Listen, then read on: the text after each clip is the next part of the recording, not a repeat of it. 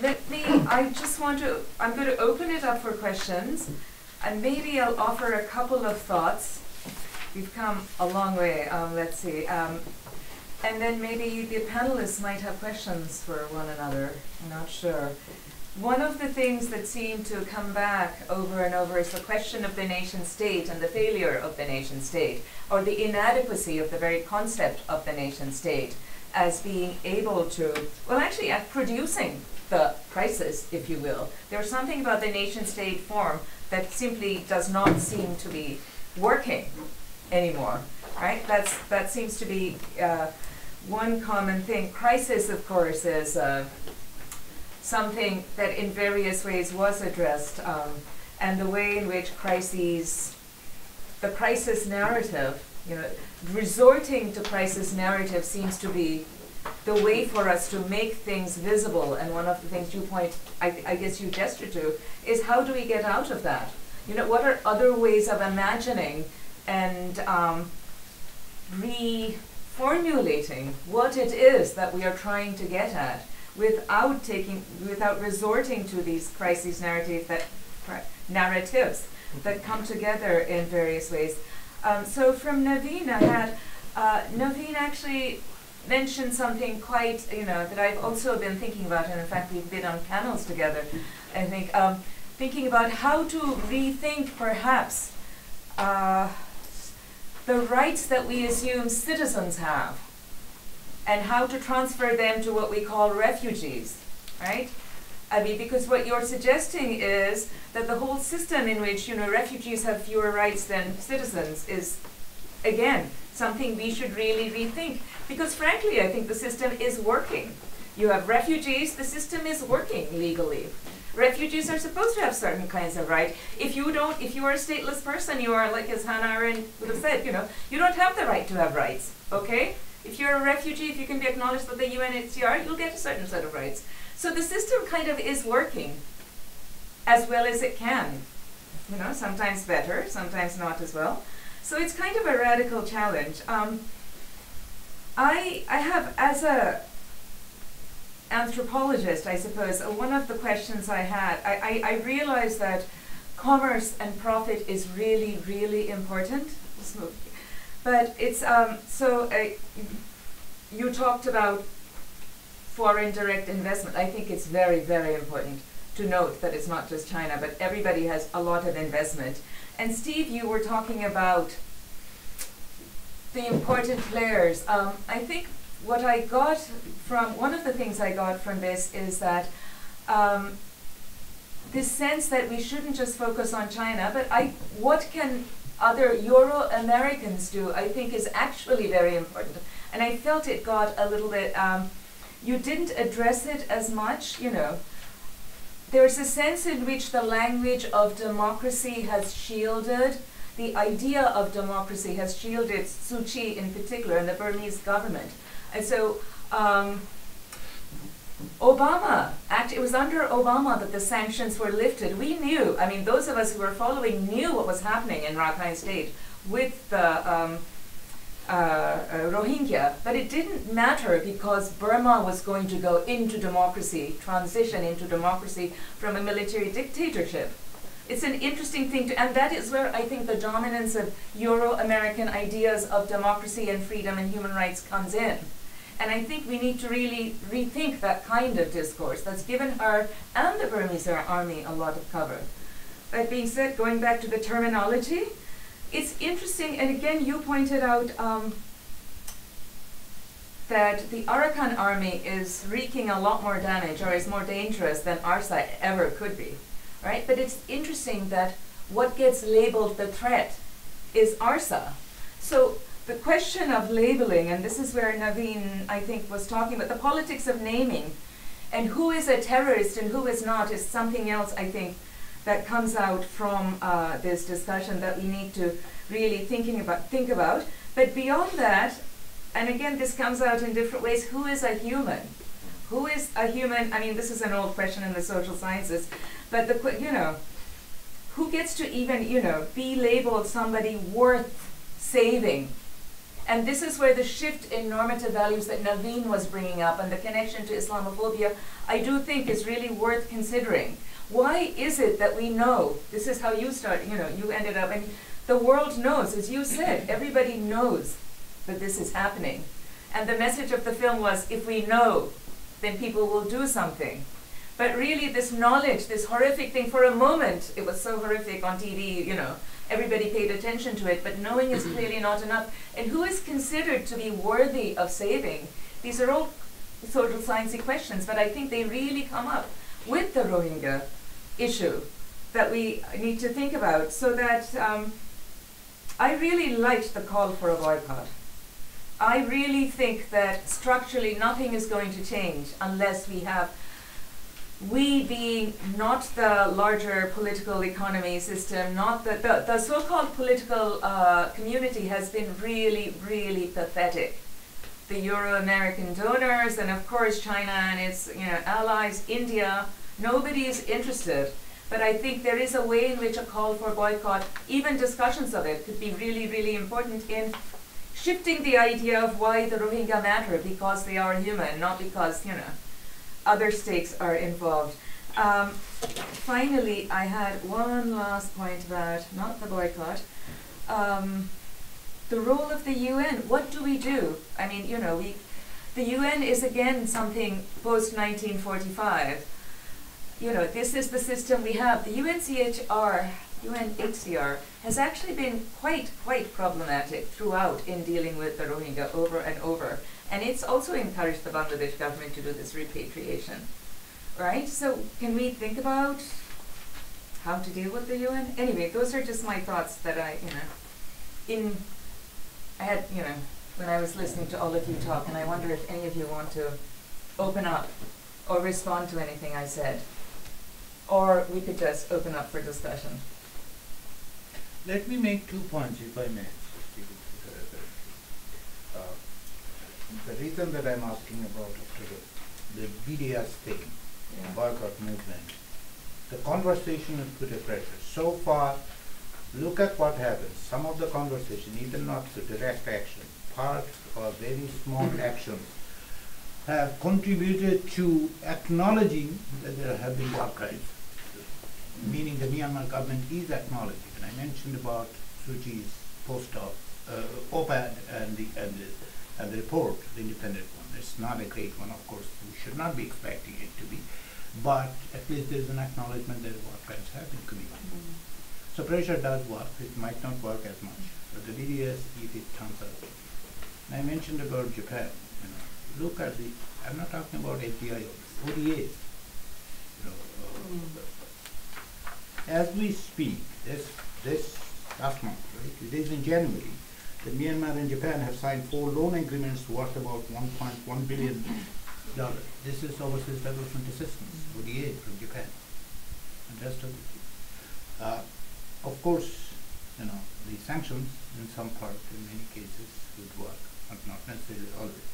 Uh, so those are the questions that I think as way forward we need to discuss at some point, at some level, somewhere.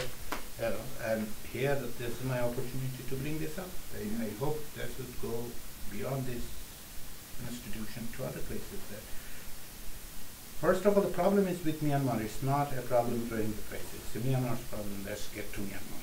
And the BDS is targeted toward Myanmar. That's what I want to insist. Mhm. Maybe the question that I would raise on that is, uh, given the incentives of mostly Asian countries to invest their geostrategic interests, their economic interests, um, how how do you realign those those interests and incentives? Um, because that's where the primary markets are. That's where the investment is coming from. Um, those are the, the business communities that are most active in Myanmar. Um, and if the past couple of years have shown anything, it's that the Rohingya don't really matter to those constituencies. Um, so how do you how do you shift that narrative? Um, there are some very nascent discussions uh, around uh, boycotting uh, Myanmar business and uh, very very early stages. Um, I, I think it's something that is potentially symbolically interesting, but if uh, if the Asian countries that have stood by Myanmar's side for the past two years for economic and geostrategic interests, despite everything that's been very well documented, um, how do you shift those those incentive structures? We do have a model in the African uh, divestment movement. I mean, it did eventually work. It's not impossible. It does seem very difficult, but it's not impossible. Sorry. I can, Did you- as I said, so I, I very much like the idea of BDS also. And I think, uh, this could be a, a situation where we can use the ICJ for um, calculation, um, and conclusion. Wait, wait, wait. We're trying to increase the volume. Genocide, but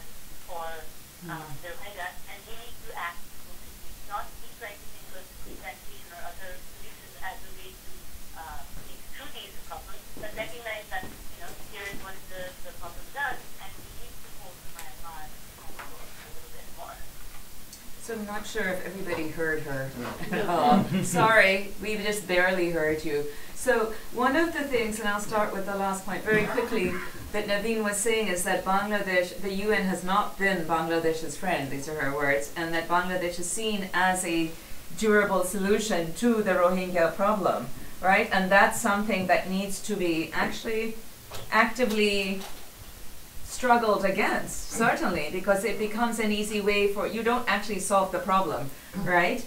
Um, and um, now I've forgotten what the, uh, t- what, what else did she say? No, one, was- one- yeah. two, two things, Navine keeps on to. Navine, I hope you can hear Oh, me. the boycott thing about buil- Yeah, yeah, building mobilization, right? Yeah. Right, you know, before that, first thing we need to acknowledge that ICJ's provisional instructions has Hmm. not acknowledged or designated this as a genocide.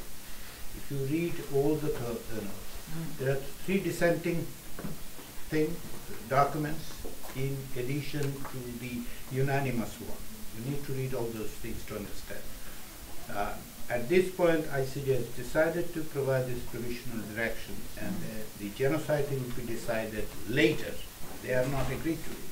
And of course, two of the judges have actually have dissenting opinion on that. Having said that, that we need to keep in mind, that not, in that sense, for the, those who have left Myanmar and now staying in Bangladesh, commonly referred to as Rohingya refugees, there's nothing in it, in, in the ICJ's direction, absolutely nothing. sure, yeah. This is for protecting six hundred thousand people who are inside Myanmar, that we need to acknowledge. Uh, So th- th- that needs to be very clear with respect to this one. Be, uh, you, you- know, you brought up what the Asian countries can do. There are three things that I think, and maybe I'm naive, but please help me out. First thing is uh, Europe and the United States, right? Japan is a very close friend of them, right? Yeah. I thought last time I checked, they were very close friends. How come Japan's role is absolutely contrary to this? Uh, New Delhi-Washington relationship is good. Yeah. It's not very good, it is good. How come the, the, the Washington cannot actually bring this up to them? When, and I'm not asking for big thing, I'm asking for, if you take symbolically one individual, the Myanmar chief of army, so to speak, who has been, the sanction, the sanction has been imposed against him from Washington, and India and Japan is inviting. How can we make some point at least, publicly or privately, I don't know whether diplomatically that done. So these are the kind of things Mm. European Union can do. Yeah. Uh, so those are the points that I, I would like to see. And finally, the point of BDS, is it going to happen tomorrow? Is it going to change everything tomorrow? Absolutely not. I'm not going to expect that. Uh, the Asians are the ones because actually, if you look at the number, and which I have done, I mean, I'm, I'm trying to focus on what to do with respect to this, and, you know, especially the, the, the Asian countries, enormous in, uh, you know, in investment, FDI, and everything. Uh, so it, it would be difficult because they're the ones they're looking for the market and, and also the opportunities as, as they say in, in Myanmar. But it is not absolutely impossible to put a pressure on them because they don't only do business in Myanmar, some of them do have investment here and there. And final point is with respect to Bangladesh, what can Bangladesh do? First thing Bangladesh should do is sign the refugee convention. Yeah. Get it done. It has been said many, many times on the Bangladesh government, why Bangladesh cannot do it? What, what is stopping them? Yeah. Did you want to add something because before we open it up? Well, one thing you said is who is human and who is worthy of Right. saving, but I mean, I'm not sure that someone being seen as human makes them seen as being worthy of saving. I mean, Okay. Yeah. what I think that the film is a good example from last night that like he wasn't showing these you know Mm.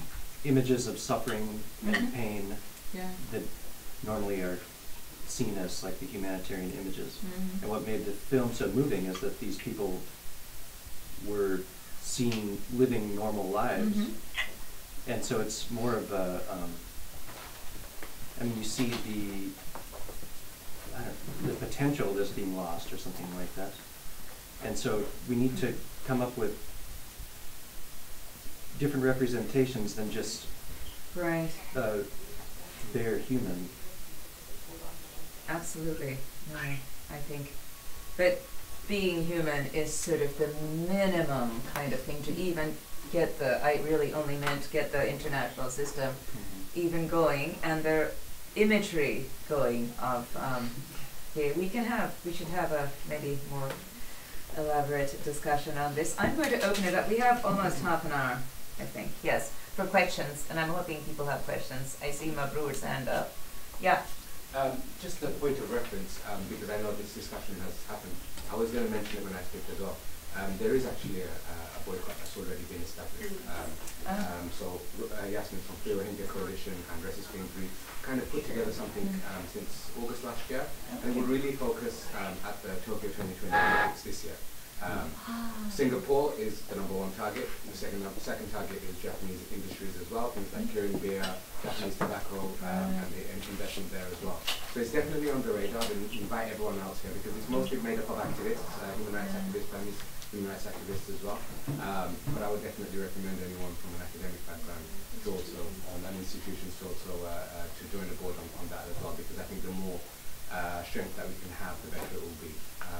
You know, on just a second point as well, this is more of a question to the panel as well. In regards to Bhasan Char, as you mentioned, it is absolutely an experiment. Um, what what kind of uh, processes do we have that we can charge uh, not just Bangladesh, but also the neighboring Chinese and the British uh, infrastructure assistance as well, uh, to persuade other ones from this because it seems like it's going to happen regardless. Mhm.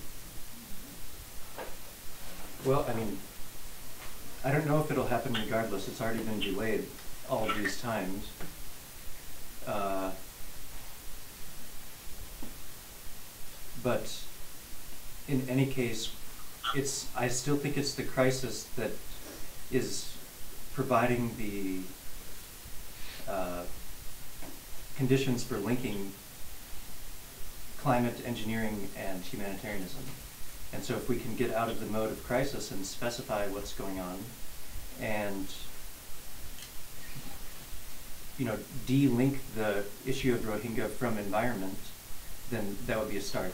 I mean, one of the things you always hear in Bangladesh when you talk to people about the camps is the deforestation and the environmental destruction that the Rohingya are responsible for evidently in in that part of the country. But I mean, that's precisely a, an outcome of their confinement to the camp. Uh, so it's kind of a paradox. But if we can find a way to like break the environment humanitarian link, I mean, that's the only answer I have. Mm-hmm. Okay. Oh, wow. Maybe we can take a few questions, two or three questions together. Shireen Apa, and then I'm sorry, I saw a hand over there. Yeah.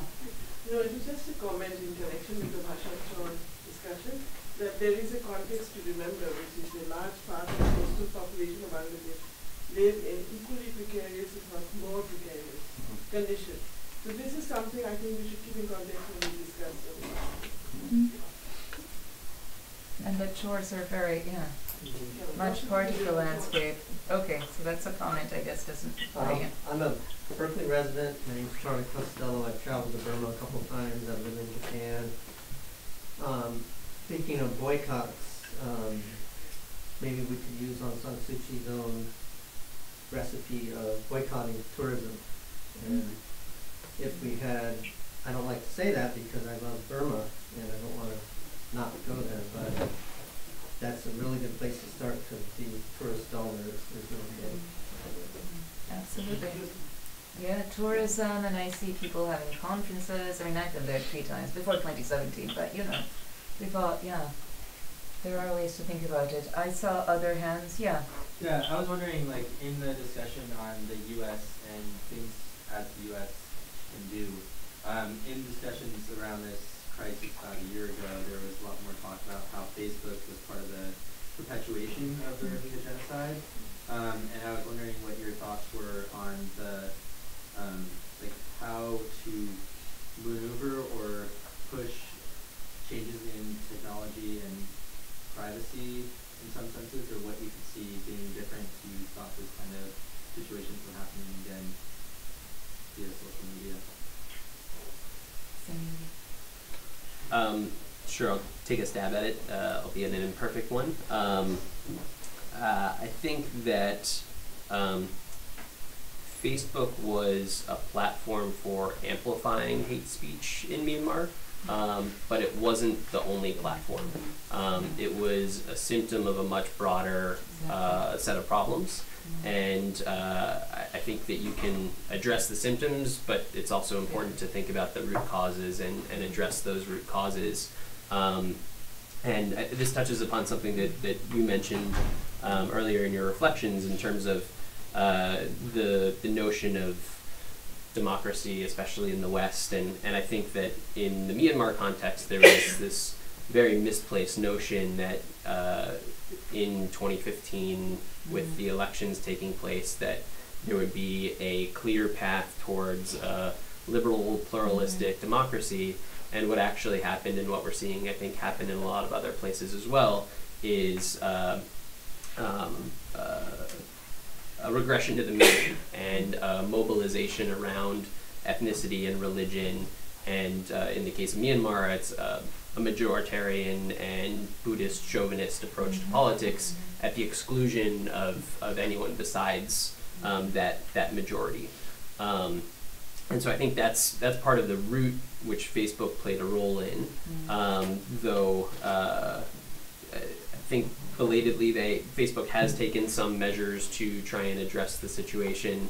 Um, has acknowledged some wrongdoing uh, to an extent, not as much as uh, probably is warranted.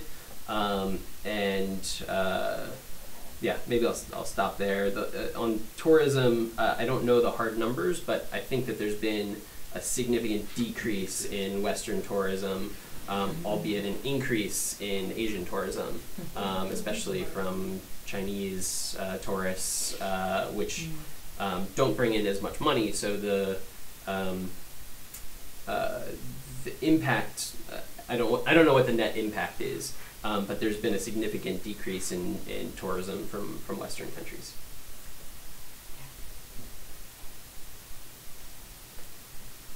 Yeah. I have a general question here. So why do you think that Bangladesh is not signing the refugee convention? Like, what can we, because the refugees will get benefits, and is it bad for Bangladesh or there will be a, why? My understanding, and it's not the first time that it came out, a long time, Bangladesh, especially first time it came out in, in, in 1990s, practically, uh, the, the wave that came. At that point was the conversation too. Uh, but it didn't work out. Primary argument that I have heard from those who, who were close to the government uh, is that it provides certain rights to the refugees, involves the resources, and commitment to accepting some of the refugees in a different manner. So there are various levels of it, you know, that's why the, the Bangladesh government was unwilling to sign because it, it would provide, it would uh, compel them to take certain steps which now they can ignore. They might have been doing it, but they have, they're not required, it's not imperative for them. They're not being, they're not being held responsible or accountable for not doing that. So is it possible that they are getting uh, like a foreign donations, UN organizations and other funding for to support the refugees at this point? After signing that, like even if there is no uh, outside resources, They will have to maintain, them- right? they will, they they will have to put strain on their own resources. Right, st- resource is a, question. If you are committed to it, you will have to do it, whether you receive support or not. There is no way. But fact remains, reality remains. That let's say, let's say, it's not going to happen. Hopefully, it's not going to happen. Tomorrow, funding is stuck. What is going to, what Bangladesh will do? You know, will they, will they be able to uh, push this, you know, millions of people inside Myanmar? No, that's not going to happen. Uh, and Bangladesh policy have, uh, no, in a, in a, in a fashion it has changed. If you, if you look at this, this phase of current iteration of the situation, 2017, remember the first reaction of Bangladesh? What was the first reaction? They offered Myanmar to have joint patrol at the border and said, we are not going to allow a single Remember what was the international reaction? ARSA is the terrorist organization supported with ISIS.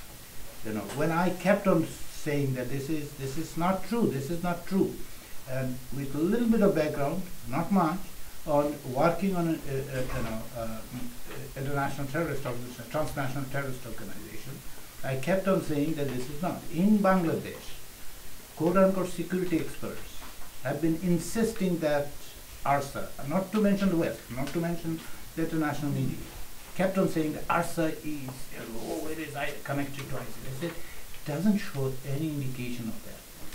This is how everything was framed at that point, to securitize the whole thing and giving a uh, so-called international, transnational terrorist frame. Uh, let me make a just quick thing that you mentioned about the Obama administration's policy with Yeah. respect to, uh, which I describe as, you know, no stick all carrot policy that, uh, Yeah. you know, Obama administration Nice extended. Uh, there were conversation, of course, there were criticism at that point. Again, it was a great game. Yeah. You know. If you can pull Myanmar out of Chinese influence, this is their moment, they thought.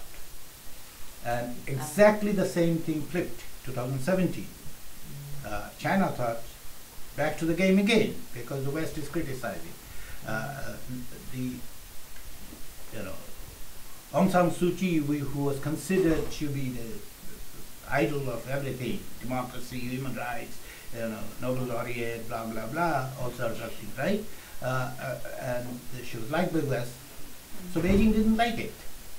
When West didn't like her, yay, the Beijing came down, you know, in 2017. We are going to protect you, come what. may." That is the that is the great game being played, unfortunately. And this, in this thing, the democracy played a part, or the rhetoric of democracy played a part, but just a part. Could I make a couple of We do additions? have this sort of, yeah, Uh, neo-colonial great game going on, as you well put. Uh, yes, Navine, did you want to say something about the 1951 uh, convention and why Bangladesh isn't signing it? Refugee convention, or no? I, I actually don't know why they're not signing it. My Okay. inclination is that they follow India in terms of, you know, their international engagement uh, to a large degree Mm. in, in recent times. And it's somewhat uh, tied to that. Um, and I think the, the other other reason is, is probably, you know, the, the regional effect that is Bangladesh is the only one in the region because you know, India is not, uh, has, has not signed either. None of, none of, none of the South Asian countries are Oh, that's signatories. interesting. And Yeah. if Bangladesh is the only one, then I don't know, you know, the, the perpetual fear that refugees will all come in. I think there's, there's that sort of that flattening effect. Okay, Mm. thank you. Yeah. It's a kind of deterrence, or that's, I mean, it's a cynical kind of deterrence. I mean, that's why Yeah. our immigration police doesn't allow you to leave water in the desert in Yeah. Southern California. Yeah, yeah, yeah. You don't even need the laws. Yeah, actually, that is illegal. Yeah, And I think it's also that, you know, even without signing it, there's, there's some advantages, you know, from a nationalistic point of view, which is, uh, you know, uh, just by doing whatever they do, they're lauded as exemplary um, True. nation. Right? Sheikh Hasina is the mother of humanity, after all, Absolutely. without even signing the convention. So uh, why why sign it and uh, not be acknowledged for all you're doing when doing Yeah. just a little bit gives you so much um, uh, political currency. Absolutely. Okay, thank you. I think, yeah, on the refugee convention, it's it's worth bearing in mind what Bangladesh wants, and what Bangladesh wants is for the Rohingya to go back to Myanmar. And if they were to adhere, or if they were to, to sign on to the refugee convention and its protocol, um, the fear would be that um, it would create stay factors whereby Rohingya might stay longer than they uh, than they otherwise would. That's irrespective of the fact that most Rohingya would like to go back to Myanmar if um, the environment was conducive for them to be able to go back safe uh, with citizenship and rights. Um, and uh, that th- there's still this this fear as well of, of pull factors that um, if all of these rights are going to be guaranteed uh, in Bangladesh, that that could pull additional Rohingya from within Myanmar to to Bangladesh, um, and that's been those those two concerns have been persistent fears going back to the late 70s, and then on top of that. Um, especially since 2017, Bangladesh hasn't wanted to do anything that will alleviate pressure on Myanmar. Um, and if it were to improve the situation for Rohingya in Bangladesh, um, it would reduce, in theory, it would reduce the pressure on Myanmar to create conditions there to accept them for return. Um, and then the only other very quick point that I wanted to make on um, on U.S. policy, it, when the U.S. lifted sanctions in November 2016, um, at that point, I think the writing was on the wall for sanctions. Everyone else had lifted sanctions, and in the past couple of years, uh, between 2016 and 2017, and, and certainly since then, investment from the West hasn't materialized in the way that was expected. It's been, as, as you showed in your slides, it's been entirely from um, countries within the region. Um, so I think symbolically, it was it was a really important decision, especially coming just a month after the first set of attacks by ARSA and the first wave of, of Rohingya being forcibly uh, displaced to, to Bangladesh. Um, but the, the practical impact on um, uh, on Myanmar's economy, I think, was probably overstated. Okay. Right. Unlike, say, place like wherever, Iran, where these sanctions, yeah. would have made a big difference. Yeah. Okay. Um, we still have five minutes left for any. Yeah, go ahead, and then Uh, yeah, well, we can. I think we have time for both, but yeah. Yes, this is specifically for Patrick, but anyone else who wants to join in. Come here from the back. Um, the question for Patrick, uh, but anyone else who can join in um, can. But I'm interested in your framing of the Rohingya being moved to Bhasan Char as a kind of climate adaptation um, technology, and I'm wondering if you could speak a little bit more about that, um, potentially in two ways. So one way is uh, Bangladesh is projected to have um, one of the highest numbers of climate migrants or climate refugees in the world um, in the coming decades. And I was wondering if you've spoken to anyone in Bangladesh or just through your own work on um, how people there are conceptualizing the Rohingya in those terms, um, as you mentioned, and if that's actually like something that's happening on a policy level um, in those words. And second, I wonder if you've thought a bit about um, this idea of statelessness and how it can refer to, like legally refer to political refugees like the Rohingya, but also climate refugees.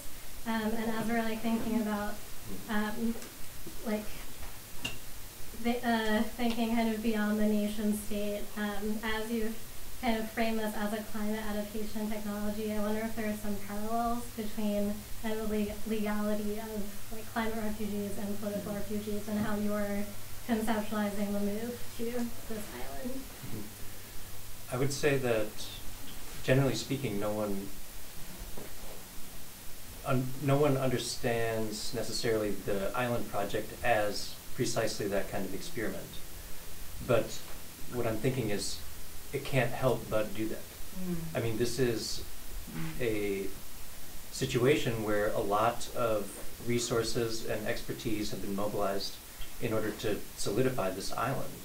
And the people that are have been working on it are the same firms in many cases that in China have been building islands in the South China Sea in order to establish sovereignty there and actually that we're working on uh, designing the countries of the world islands that are in the Emirates.